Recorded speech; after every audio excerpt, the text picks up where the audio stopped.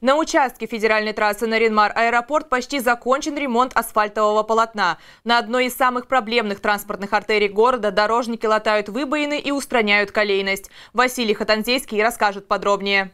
Северное лето – пора для благоустройства региона. За столь короткий период необходимо провести колоссальную работу. Например, объем работы, выполняемый в Ненецком округе за два месяца, равняется объему работы, выполненному в Южном регионе почти за целый год. Сейчас мы находимся на федеральной дороге, ведущей в аэропорт. На этом участке дороги ведутся работы даже ночью. Чтобы не создавать помехи для водителей днем, ремонтные работы по асфальтированию дорожного полотна проходят глубокой ночью и в ускоренном темпе. Транспортная артерия из Наринмара в аэропорт – единственная федеральная автодорога в округе. В ходе проведения последней проверки были выявлены недочеты, многочисленные ямы, трещины, стертая разметка. Для устранения всех дефектов подрядчик использует современные технологии и материалы.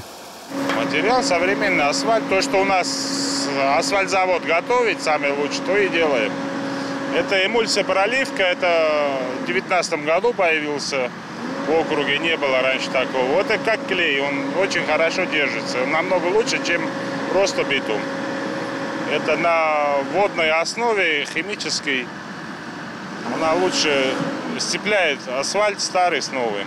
Работы проводились на протяжении почти одного километра. Контроль за ремонтом дороги осуществляется ежедневно. Не готовиться будем контролировать, чтобы нанесли там разметку окончательной штрихи. Ну, также идет Э, проверка других э, работ, это по мосту, который ну, не видно э, взглядом ну, обывателю, да, но они как бы ведутся, эти, постоянно у нас центр заказчик выходит и контролирует тротуары, состояние моста, как они покосили траву, как они закрыли сколы на мостах, откосы укрепили и так далее.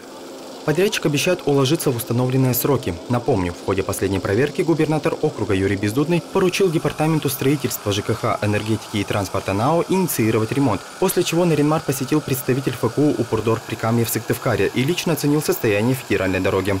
Василий Хатанзейский, Владислав Носкин, телеканал СЕР.